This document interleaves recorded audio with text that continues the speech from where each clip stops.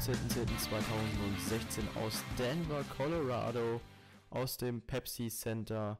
Und an meiner Seite ist natürlich wieder, wie immer, das WrestlePedia himself, Mischa. Ja, guten Tag. Ja, die Raw-Ausgabe ist es, glaube ich, die zweitletzte Raw vor Hell in a Cell. Richtig? Vorletzte? Äh, ja, vorletzte. Genau, und mal sehen, ob es diese Raw geschafft hat, vielleicht uns mehr auf Hell in a Cell zu hypen, neuere Sachen, so, das werden wir alles natürlich besprechen in dieser Review und so weiter und so fort. Ich hoffe, man hört nicht im Hintergrund ein bisschen Lärm, weil draußen geht irgendwie die Party ab. Ich weiß nicht warum. Na gut, es ist ja jetzt nicht so die Uhrzeit, die wir normalerweise aufnehmen. Jetzt haben wir momentan, ja, kurz nach sechs, kann man so viel sagen, oder ja, zehn nach sechs ungefähr. Nehmen wir quasi diese Raw Review auf und da kann es natürlich sein, dass da ein bisschen Lärm ist und so und so fort. Aber nun gut. Ja, wir fangen natürlich mit Raw an und starten tut es natürlich, oder nicht, eigentlich nicht natürlich klassisch, eigentlich immer mit einer Promo und zwar mit Kevin Owens und Chris Jericho. Jo, beide kamen äh, wieder mal zum Ring und sprechen über das Hell Cell Match und haben mal wieder darüber gesprochen, dass Mick Foley sich nur oder beide nicht mag und die deshalb in so ein Match steckt und äh, ja, äh, Kevin Owens möchte eine lange, schöne Karriere haben und nicht so enden wie Mick Foley, der gefühlt getötet wurde durch die Hell in the Cell Matches. Und ähm, ja, wie dem auch sei, Kevin Owens will Seth Rollins bei Hell in the Cell zerstören. Und äh, Jericho sagt auch noch hinzu, dass er natürlich in dem Match hätte stehen müssen. Er hat Größen wie Shawn Michaels, Rey Mysterio, Stone Cold Steve Austin, The Rock, Undertaker besiegt etc. Also wird er auch mit einem ähm, mit, mit einem Seth Rollins fertig werden. Aber ja, der Ref war schuld. Und deshalb wurde der Ref Rod Zapata auf die List of Jericho gesetzt. Das hat dann natürlich Seth Rollins herausgerufen. Und ja, beide haben sich dann auf ein Match geeinigt, was jetzt stattfindet. Und dann kam es zu dem Match. Genau, dann gab es das Singles-Match zwischen Chris Jericho und Seth Rollins. Wieder mal. Das war nicht so gut wie letzte Woche. Ähm, Kevin Owens war erst gegangen am Anfang und kam dann aber später heraus im Match und hat immer mal wieder ein bisschen Seth Rollins abgelenkt. Aber am Ende konnte Seth Rollins mal wieder Chris Jericho clean nach dem Pedigree besiegen. Genau so sieht's aus. Auf jeden Fall hat, ja, Seth Rollins erneut gewonnen und man stellt momentan Jericho total beschissen dar. Ähm, ja, auch wenn Chris Jericho momentan eigentlich super ist, also gerade sein Gimmick und alles geht er momentan super auf und so. Und trotzdem war das Match sehr, sehr schön und ich würde sogar sagen, es war Match of the Night. Trotzdem war das scheiße gebuckt. Jericho sieht einfach nur wie ein Volldepp aus. Der wird so schlecht gebuckt einfach. Weil er, er wirkt wie so ein dummer Face, wie Seth Rollins am Anfang, wo er Stephanie immer geglaubt hat. Und jetzt glaubt Jericho die ganze Zeit Owens, dass sie ja nur Buddies sind. Oh, es ist so, so hässlich gebuckt. Genau, auf jeden Fall. Also, ich weiß auch nicht, was man da denken soll bei Chris Jericho und Kevin Owens, weil, ja, der Universal Champion fühlt sich nicht an wie ein World Champion, finde ich. Also, ich freue mich natürlich, dass Kevin Owens diesen Titel hat. Aber der bringt mir nicht so dieses Feeling, ja, ich bin jetzt der Universal Champion, ich bin der World Champion. Das bringt er mir gar nicht so rüber. So gut wie gar nicht. Ja, und ja, natürlich, Owens kam raus und so und so fort. Und was sich danach entwickelt, das werden wir natürlich noch ein bisschen erfahren, weil wir noch kleine Einzelheiten haben werden. Jedoch gab es dann ein Videopackage, wo Goldberg debütiert ist am 22. September 1997 gegen Huck Morris.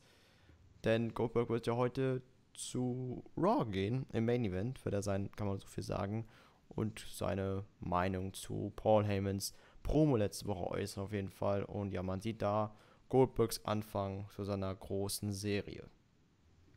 I don't give a Kann man auch so sagen. Auf jeden Fall gab es danach ein Interview mit Lita und Charlotte. Jo. Charlotte hat gesagt, äh, sie, sie wurde als großartige Frau natürlich geboren und sie steht jetzt in Matches, wo vorher schon Leute drin standen, wie Shawn Michaels, Triple H, Mick Foley, Undertaker etc. Und in zwei Wochen werden sich da drin Charlotte und Sasha Banks gegenüberstehen. Und es ist kein Zufall, dass sie die ersten sind, die in dem Hell in a Cell Match gegenüberstehen und dass alle Frauen vor ihnen wesentlich schlechter waren und deshalb da nicht drin standen. Und sie wurde in ihrem Stammbaum als Siegerin geboren und äh, sie hat zwölf Pay-Per-View-Matches in Folge gewonnen und bla bla bla. Ähm, dazu kann man noch anmerken, dass sie noch zum Ende sagt, sie wird dritte Women's Championess und dass wohl das Hell in Cell Match der Frauen auch der Main Event wird bei Hell in a Cell. Was sagst du dazu? Ja, kann man machen. Kann man machen, das wäre auf jeden Fall der erste Pay-Per-View Main Event überhaupt, dass die Women's Wrestlerinnen überhaupt haben. Also es gab ja schon mal NXT Takeover Special Main Event, es gab ein Raw Main Event, ich glaube SmackDown Women's Main Event gab es noch nicht ein Match, aber noch nie ein Pay-Per-View Main Event und wird mal Zeit und bei so einer Ansetzung kann man es mal machen, auf jeden Fall mit einem Hell in a Cell Match, äh, weil es ja wirklich first time ever, dass zwei Women's Wrestlerinnen in der WWE in einem Hell in a Cell Match gegenüberstehen. Ich weiß nicht, ob es in der WCW auch so war, aber in der WWE auf jeden Fall nicht. Und daraufhin ist es sehr, sehr interessant, was man da machen wird. Und ich freue mich schon auf die Ansetzung. Und wenn es der Main Event wird, finde ich okay. Normalerweise soll der World Title im Main Event stehen, aber man kann auch mal den Women's Title im Main Event. Dann ist ja auch quasi so der World Title von den Frauen in dem Sinne. Jo. Genau, dann anschließend gab es dann ein Match, wo ich gedacht habe, warum habe ich es mir angeguckt? Und zwar Mark Henry und Golden Truth gegen Shining Stars und Titus O'Neil. Ja. Habe ich geskippt. Ich nicht. Fand das Match nicht gut. Pech. genau, äh, ich fand das Match nicht gut. Hat mich nicht gejuckt. Und diese vier Minuten hätte ich mir in ein anderes Match hineinstecken können. Welches will ich nachher erzählen. Okay, dann lief New Day noch Backstage rum mit einem Schild mit der Zahl 420. Was die 24 bedeutet, ist, denke ich, bei jedem klar. Und zwar, dass sie jetzt seit 420 Tagen Tag Team Champions sind. Die brauchen auch, glaube ich, 58 oder 59 Tage, um den Rekord von X und Smash, also Demolition, zu brechen. Also noch fast zwei Monate, oder beziehungsweise doch fast zwei Monate, kann man so viel sagen. Und ja, und dann gab es die Backstage-Konfrontation zwischen Chris Jericho und Kevin Owens. Ja, äh, beide waren halt Backstage und Jericho war pissed, weil er ja zu Owens gesagt hat, er soll sich vom Ring fernhalten und Owens kam ja trotzdem und Owens hat gesagt, er wollte ihm nur helfen und Jericho wollte ihn dann Stupid Idiot nennen, aber das hat Owens gar nicht gefallen und er hat nicht gesagt, er ist nur nicht irgend so ein Depp, den er einfach Stupid Idiot nennen kann und auf seine dumme Liste setzen kann und dann haben sich beide gegenseitig ein bisschen angebrüllt, bis Stephanie McMahon hinzukam und sie hat beide beruhigt und hat gesagt, sie sollen einen klaren Kopf bewahren und das ist, was Seth Rollins will und was weiß ich. Und ja, damit endet das Segment. Damit endet das auf jeden Fall das Segment. War ein cooles Segment, war wieder ein kleines Highlight und gerade mit diesem Stup. Ja, sagt er es, sagt er es nicht. Wo auch die Crowd gedacht hat, oh. Also fand ich nicht schlecht auf jeden Fall. Dann kamen Cesaro und Sheamus in den Ring. Ja, ja, ja. War ein Match. War ein Match. War, war okay. Big E gegen Sheamus. Äh, Cesaro, die Story war halt, dass Sheamus letzte Woche die ganze Zeit mit Facebook Livestream rumgerannt ist um den Ring und das hat er jetzt Cesaro gemacht, hat sich zwischendrin auch mal die Jacke von Big E angezogen und ja, war okay. Ja, war okay, war kein schlechtes Match. Big E und Sheamus sind hier beide gute Wrestler, das ist ja klar. Und 10 Minuten Zeit haben sie bekommen, also ordentlich Zeit. Und fand ich okay, fand ich gut. Und ja, Big E hat gewonnen, wieder mit der Ablenkung. Also, wie gesagt, ich will immer noch abwarten mit dem Tag Team Sheamus und Saison, aber momentan äh, gefällt mir es nicht ganz. Ja, das nächste habe ich geskippt. Ja, das nächste ist auch wieder eine Sache, wo es um Goldberg ging und zwar ein Video zu Goldbergs Titelgewinn und zwar den WCW World Title hat er gegen Hulk Hogan, also Hulk Hogan wurde mal wieder in der WWE erwähnt, beziehungsweise damals in der WCW war ja Hollywood Hogan, NWO-Zeit. Vom 6. Juli 1998 wurde gezeigt, wie er den WCW World Heavyweight Title gewonnen hat bei Nitro im Georgia Dome. Also wo 60.000 Leute bei einer Nitro gemacht wurde, was im Nachhinein von vielen WCW-Leuten ja als Fehler angesehen wurde, weil das ja eigentlich im Free TV gezeigt wurde, anstatt diese 60.000 äh, Pay-Per-View-mäßig zu zeigen, um daraus auch viel mehr Geld zu machen. Aber das hat man eher dafür genutzt, einfach auf Nitro zu schalten und dadurch wurde Goldberg laut Cole wurde gesagt, der erste, erste Wrestler, der World Champion wurde, aber die ganze Zeit undefeated blieb.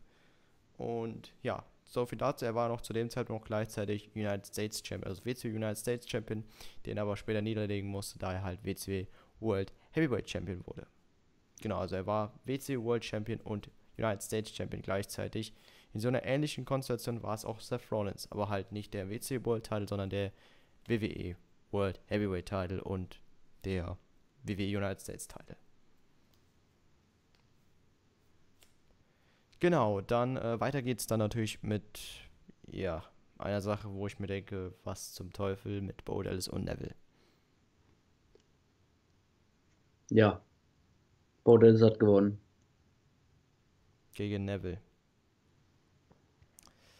Also ich denke mir so gerade, letzte Woche gewinnen sie, glaube ich, gegen die. Diese Woche nett. Und ich frage mich nur gerade, was will mal Bo Dallas? Man muss überlegen, vor zweieinhalb Jahren war. Oh, Telefon. Moment.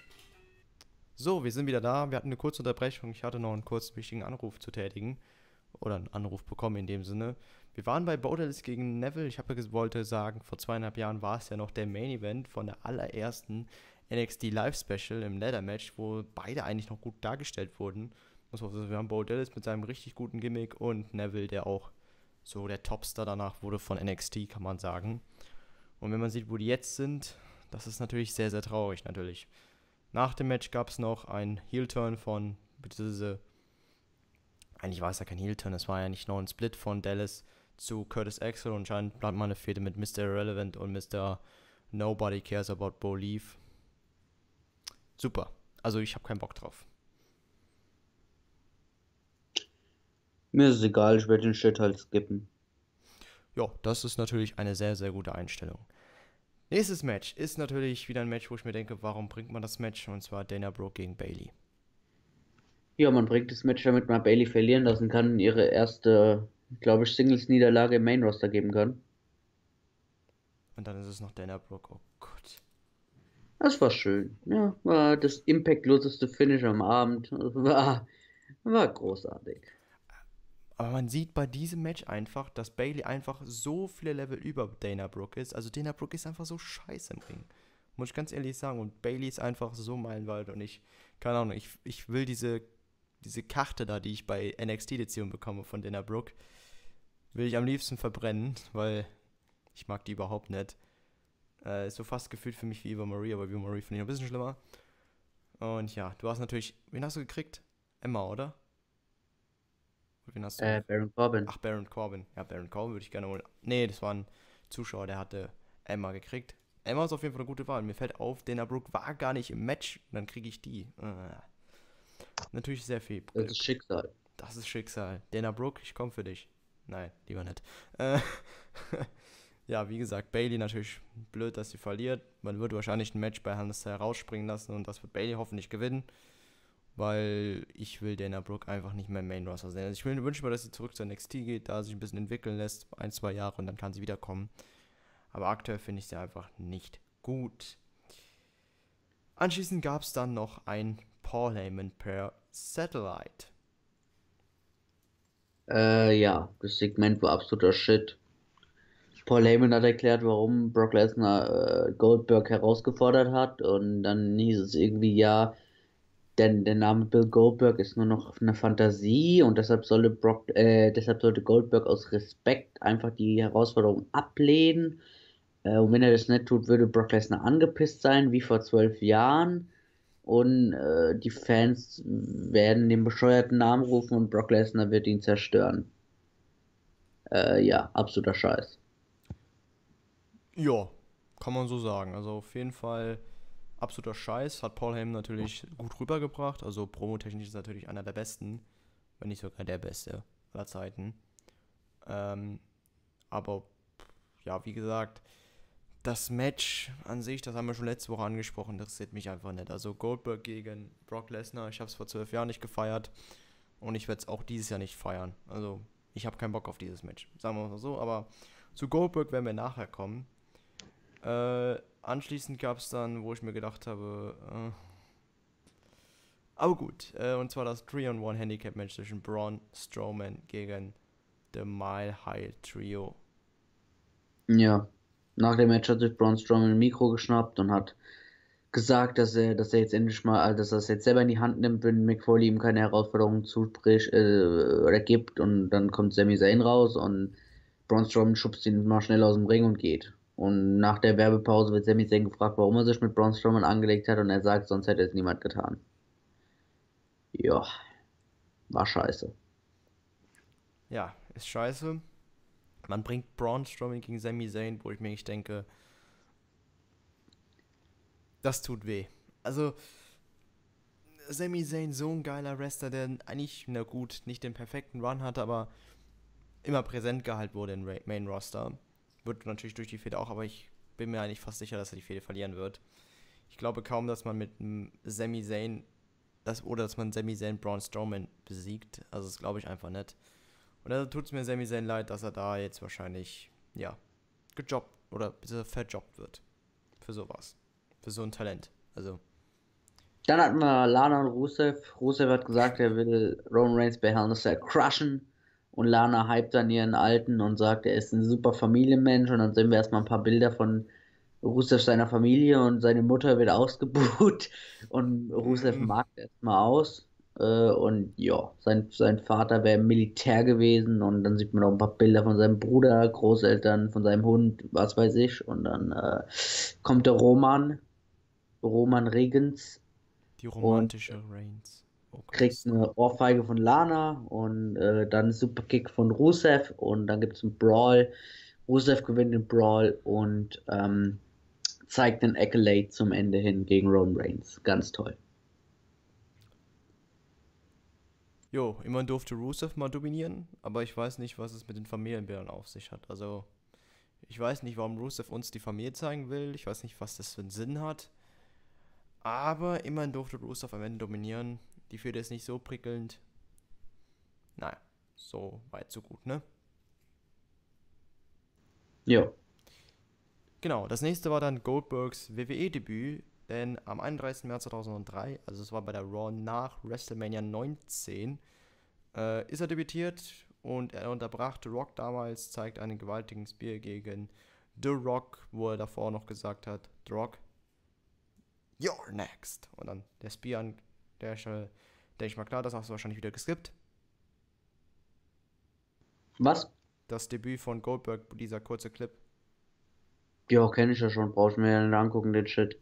Ja, kennt man, denke ich mal, sehr, sehr gut. Dann gab es natürlich noch einen kurzen ja, Videoclip zu Emma Lina, die irgendwann kommen wird. Mal sehen wann. Anschließend gab es dann das Match Carl Anderson gegen Big Cass.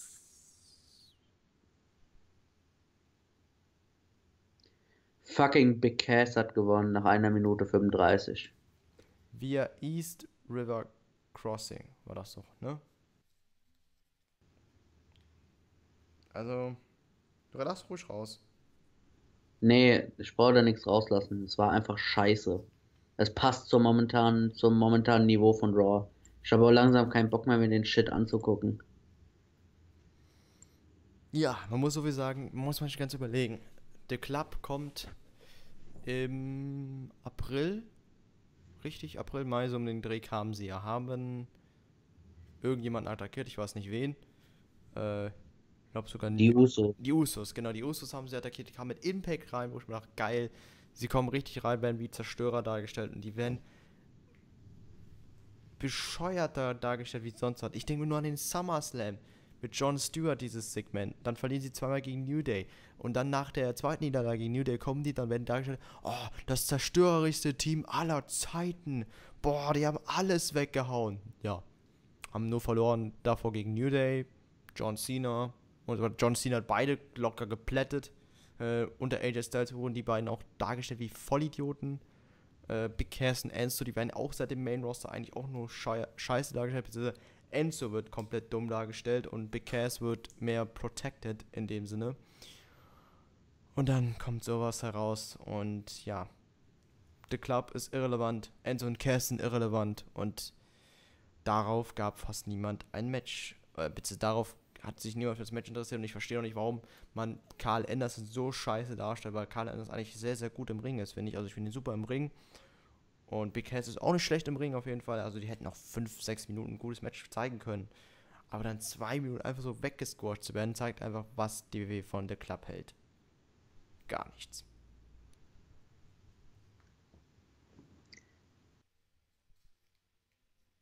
Okay. Dann natürlich anschließend ein Backstage-Segment mit Tony Nese, Drew Gulak, Brian Kendrick und TJ Perkins.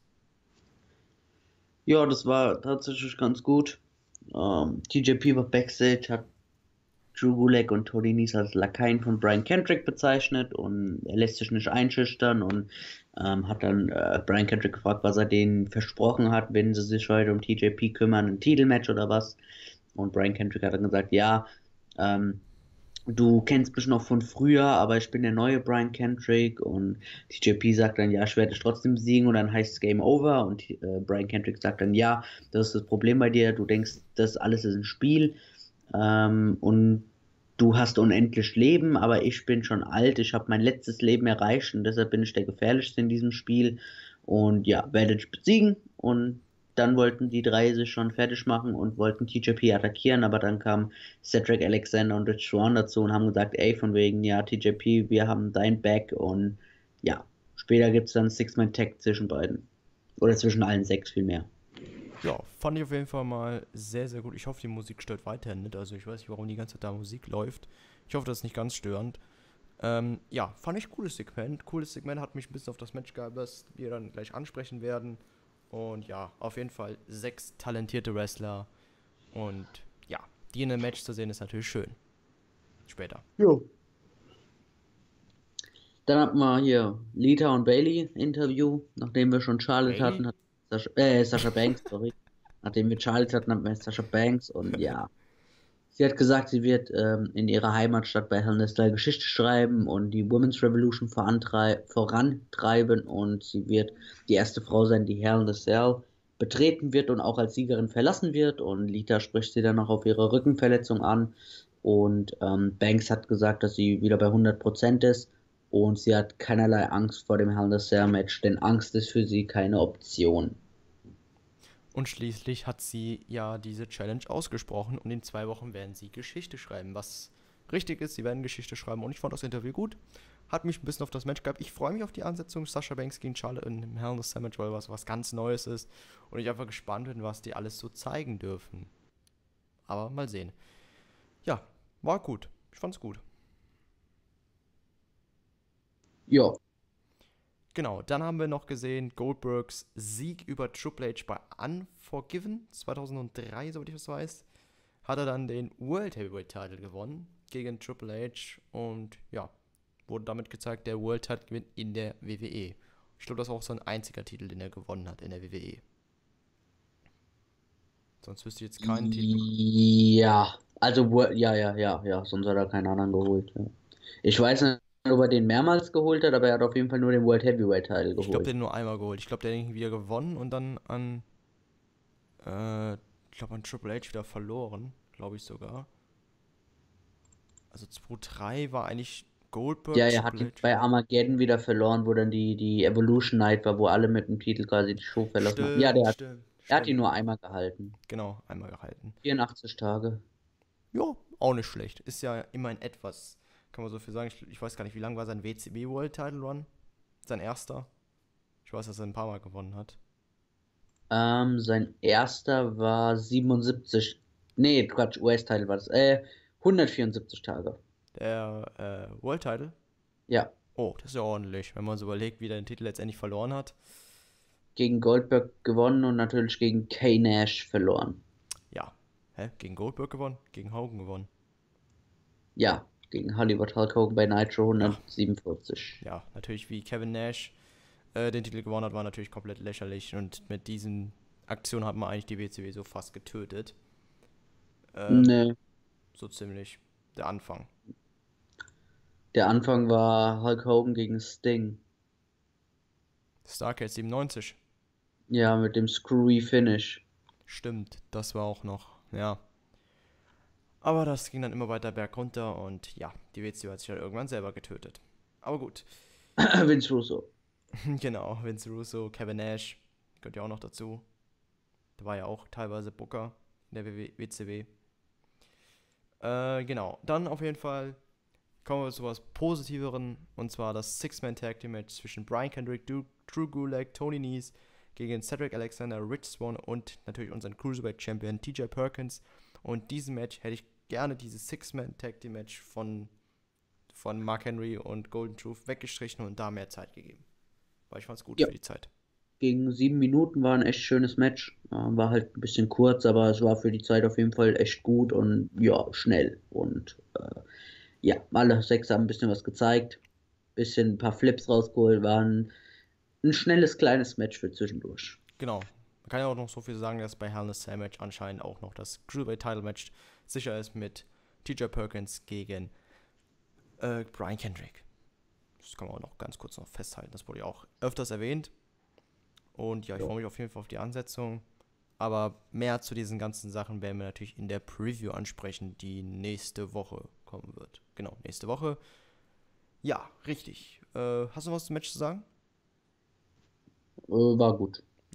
Ja. Zweitbestes Match des Abends. Auf jeden Fall. Ähm, wir haben jetzt schon fast, Entschuldigung, äh, auf jeden Fall fast eine halbe Stunde. Man merkt schon irgendwie, also es fällt mir zumindest auf, dir wahrscheinlich ja auch, äh, dass wir bei der Raw eigentlich wenig anzusprechen haben, wenig zu sagen haben eigentlich letztendlich. Und das zeichnet sich die bei dieser Raw an und das hört sich nach nicht positiven an.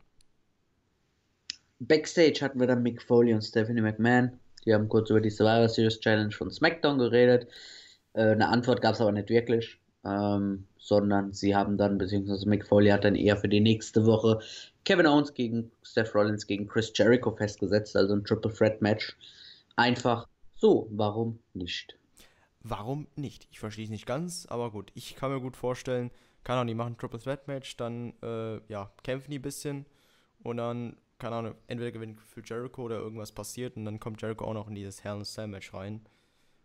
Weil sonst hat ja Jericho gar nichts a Cell Match und ich glaube nicht, dass er nichts machen wird. Kann ich mir gut vorstellen, dass er, hm? Ich habe nichts gesagt. Also, äh, dass er vielleicht, ja, irgendwie so ein Triple Threat Match war, vielleicht so Mick Foley sagt, ah, das Match hat mir so gut gefallen, ich will es nochmal sehen in Hell in a Cell. Und deshalb ist Chris Jericho drin, auch wenn es keinen Sinn machen würde, warum Chris Jericho drin ist, weil er letztendlich letzte Woche das Number One Contender Match verloren hat und diese Woche wieder gegen Seth Rollins verloren hat. Also, also passt sehr gut. Stimmt, das passt eigentlich. Laut WWE-Logik natürlich. Laut anderen Ligen nicht, aber laut WWE Main-Roster-Logik, muss man so viel sagen, natürlich schon. Da hast du recht, da hast du einen guten Punkt erwischt. Gut, äh, da würde ich mal sagen, gehen wir direkt zum Main Teil oder hast du davor noch was zu sagen? Nö, kommen wir zu Goldberg. Kommen wir zu Goldberg. Nach zwölf Jahren, dein letzter Auftritt war, soweit ich das weiß, WrestleMania 20. Das Match Brock Lesnar gegen Goldberg, wo Stone Cold Steve Austin der Special Guest Referee war. Goldberg ist nur ein Jahr in der WWE gewesen, äh, davor natürlich nur in der WCW und davor ein Footballspieler, glaube ich sogar, soweit ich das weiß. Goldberg. Genau. Und ja, nach zwölf Jahren kehrt er wieder zurück. Es ist ja natürlich dazu gekommen, dass er erstmal bei WW 2K17, was übrigens auf meinem Kanal ist, jeden Tag meine Karriere, könnt ihr gerne vorbeischauen. So, haben wir das auch mal rausgehauen. Äh, auf jeden Fall, ähm, Goldberg, äh, ja, wurde von Michael Cole angekündigt, dass er jetzt reinkommt und daraufhin gab es ein Entrance.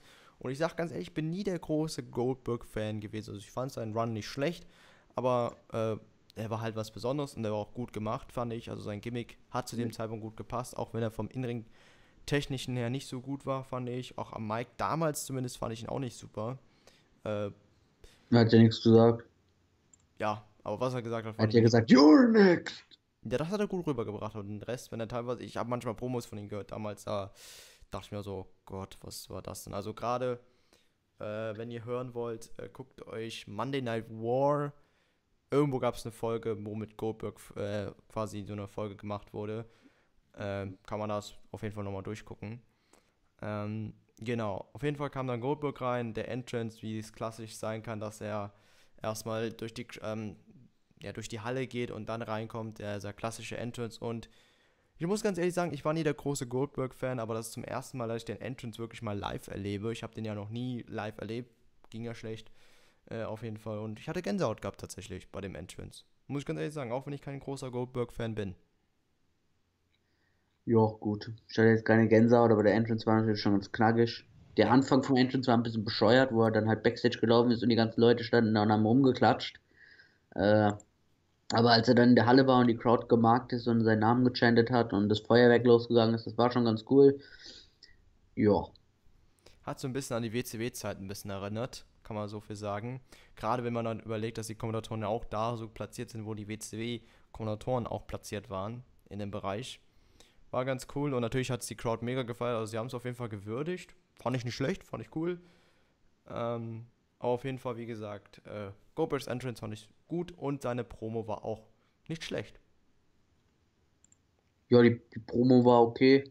Äh, er ist halt jetzt so ein bisschen der John Cena hier, dass er zurückkommt und für die Kinder und er hat über seine Frau geredet und über sein Kind und dass, dass er will, dass sein, sein Kind ihn mal wrestlen sieht und hat natürlich noch das Videospiel angesprochen und ja.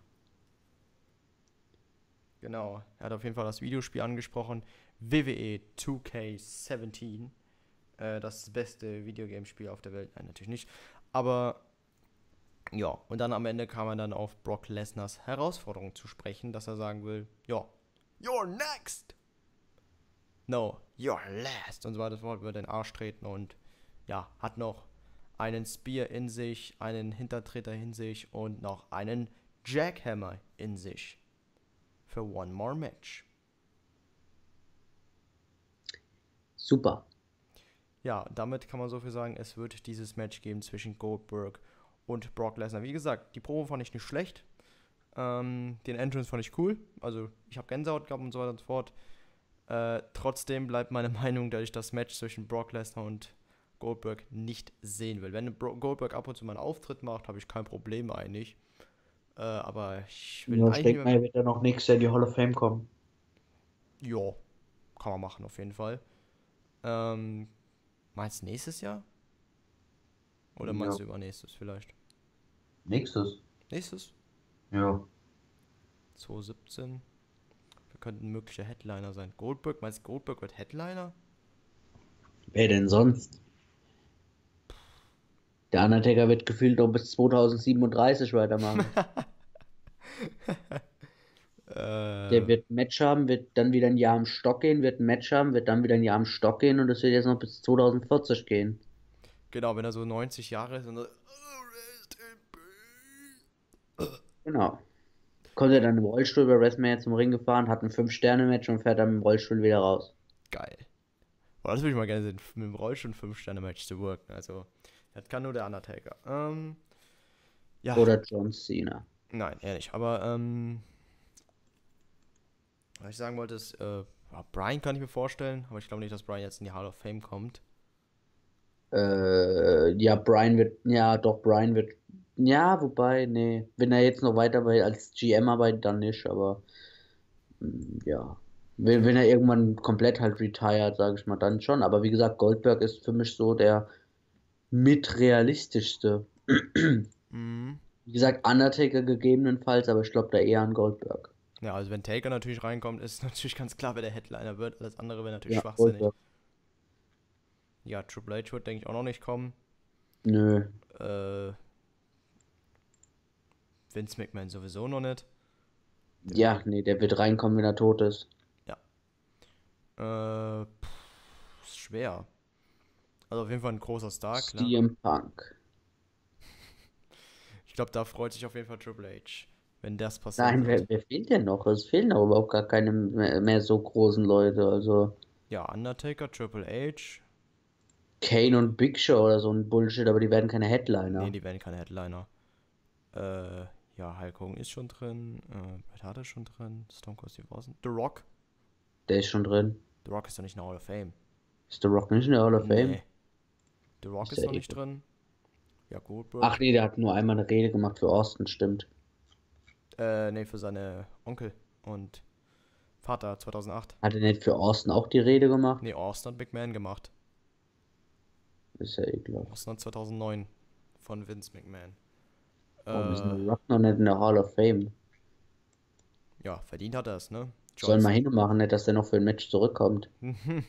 ja, John Cena wird irgendwann in die Hall of Fame kommen, aber noch nicht jetzt. Da braucht es noch ein bisschen. Äh, wer, wer, kann da noch in die Hall of Fame kommen? Äh, Mick Foley ist schon drin. Chris Benoit. Chris Jericho.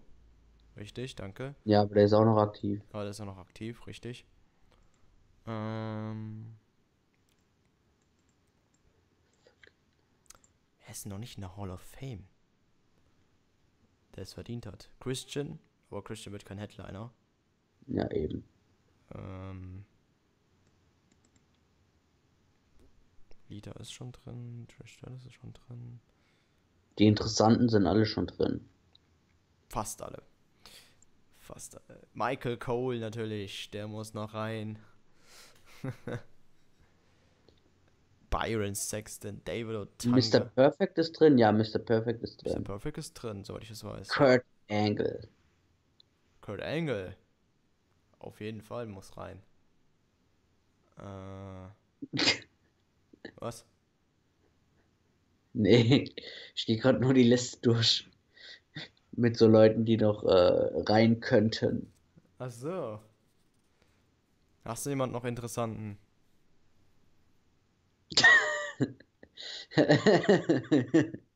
ähm, nee, nicht wirklich, wenn ich da gerade so die Liste durchgehe. Meinst du deine Liste aus deinem WrestlePedia-Kopf? Ja. Was ist so? Mir fallen gerade die übelst bescheuerten Namen ein an die Hall of Fame, wenn ich an die Hall of Fame denke. Wer zum Beispiel? Da gerade eben an Sasha Banks. Die hat's verdient, ja. Ja, nee. Jetzt schon. Die hat schon alles erreicht. ja, scheißegal, auf jeden Fall Hall of Fame, Triple H, Headliner, King of Kings und dann wird die Hall of Fame zugemacht. Taker kommt auch noch rein, ne? Also. Ach, der, der kann nach Hause gehen. Nichts Besonderes hat er gerissen für die WWE. Die drei Matches da. Ja, er hat nicht viel gerissen. Triple H hat natürlich alles gerissen. Er hat natürlich diesen ja. Mega Streak gehabt, 22 zu 0. Äh, ja, 22 Buryings in Folge. Genau, er hat äh, 22 World Titles gewonnen, so wie Ric Flair. Oder 20 Ric Flair. Uh.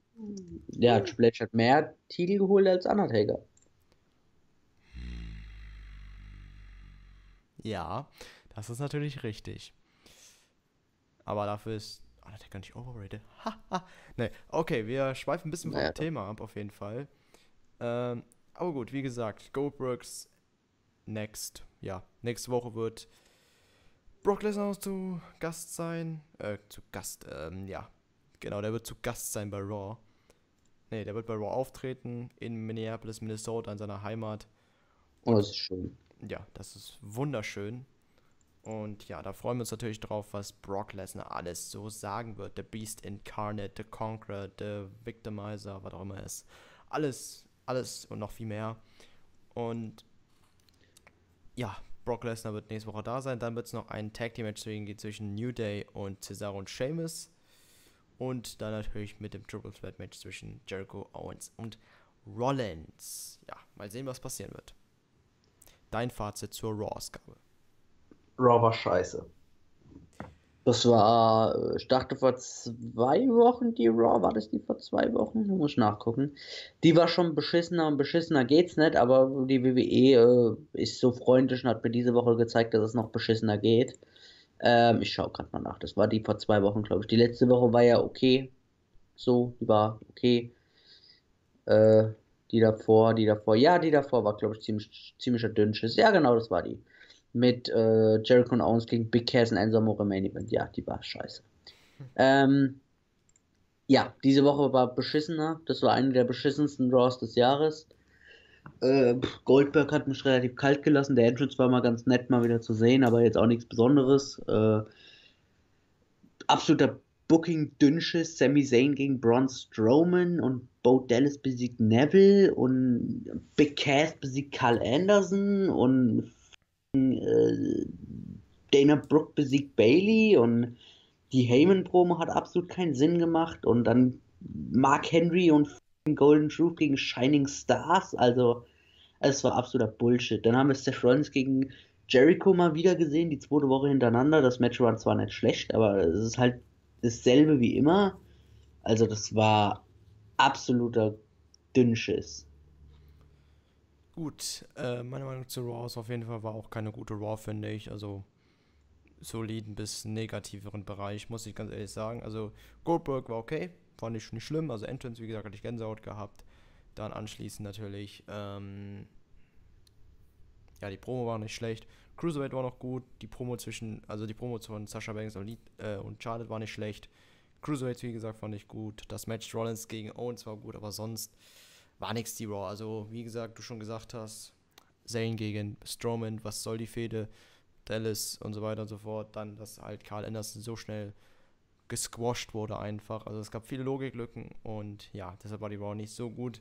Ich kann so viel sagen, Cage Match hat die Raw auch nicht so geil bewertet. Also die Zuschauer von Cage Match und zwar hat die Raw ein Rating bekommen von äh, Moment, sehe ich gerade 2,95. 2,95 und das ist, Das ist noch zu viel. ja, ich würde der Raw auch so drei, vier Punkte geben, glaube ich. Hm? Ja, Ein Punkt geben, weil sie da war. Null Punkte vergebe ich einfach nicht. genau. Ähm, ja, ich drei, vier Punkte würde ich die Raw geben. Also war nix. Also war nicht Gutes. Und ich bin mal gespannt, wie SmackDown äh, toppen wird. Ich würde mal so viel sagen, es ist eigentlich nicht schwer, das zu toppen. Die müssen einfach nur logisch bucken, dann kriegen sie auch eine gute Show hin. Äh, ich weiß nicht, ist irgendwas für SmackDown Besonderes angekündigt? Äh, James Ellsworth gegen AJ Styles um den World Title. Oh Gott, ja, stimmt. Oh nee. Da kann ich wieder morgen wieder ausrasten, ey. Ja, letzte Woche bin ich. letzte Woche bin ich ein bisschen ausgerissen mit der ganzen Sache, wo mich auch der Roster-Split auch hoch, hochkommen ließ. Und ich sag mal so, so ganz ehrlich, ähm, so noch ganz zum Ende noch gesagt, das sind solche Sachen, die ich auch erwartet habe, ne? Also ich habe schon erwartet, okay, die bucken erst die ersten Wochen gut und dann wird es wieder so wie immer. Nur halt, dass wir uns fünf Stunden es antun und nicht drei Stunden. Super. Ja, aber wie gesagt, Wenn es auch weiter so geht, dann höre ich auf, Raw zu gucken. Das sage ich auch schon mal jetzt on air. da habt ihr es. Ähm, ja, da muss ich wahrscheinlich alleine die Reviews machen. Genau. Zumindest Raw. Hä? Zumindest Raw. Zumindest Raw, ja. WWE buckt mal besser, dann, ja. Ich kann mir aber gut vorstellen, dass die Raws wahrscheinlich wieder so werden wie letztes Jahr. Also ich weiß noch bei All About E, wie wir da uns durchgekämpft haben. Das war hart. Ja, gerade um die Survivor Series rum, das war ziemlich hässlich. Ja, also ich sag mal so, wir hatten manchmal echt keine Lust gehabt, eine Review aufzunehmen, aber wir haben es einfach gemacht, weil es sein musste. Und ja, genau. Und das wird natürlich weiter so sein. Wir werden natürlich weiterhin jede Woche Raw, SmackDown, NXT und dann nächste Woche Cell machen. Klar. Vielleicht. Ja, bei dir vielleicht, bei mir schon. Klar, ich gucke ja alles. Äh, sowohl in den guten als auch in den schlechten Zeiten. Aber Gute Zeiten, schlechte Zeiten. so, jetzt haben wir noch das noch geplagt. Sehr gut. Haben wir schon mal unsere 5 Euro sicher. Ja. Und RTL? Genau, so viel kann man sagen. Aber wie gesagt, ähm, Roster-Split-Video werden wir noch, denke ich mal, ein bisschen später machen. Also jetzt noch nicht. So bis Ende des Jahres, so da passt es sehr, sehr gut. Aber ich sag mal so, das Positive, was ich am Anfang hatte, ist komplett weg. Das kann ich so viel schon mal sagen. Aber das werden wir, denke ich mal, in einer genaueren Ausgabe mal genauer besprechen. Jo. Hast du noch was zu sagen? Äh.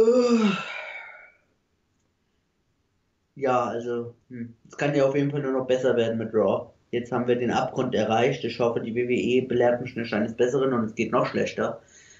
Äh, Aber gut, schauen wir mal. Schauen wir mal auf jeden Fall. Wir werden morgen, übermorgen wird dann SmackDown kommen, dann natürlich noch NXT und so weiter und so fort. Und dann kommen natürlich noch nebenbei WW 17 meine Karriere und ja, Viva 17 soll auch natürlich wieder kommen.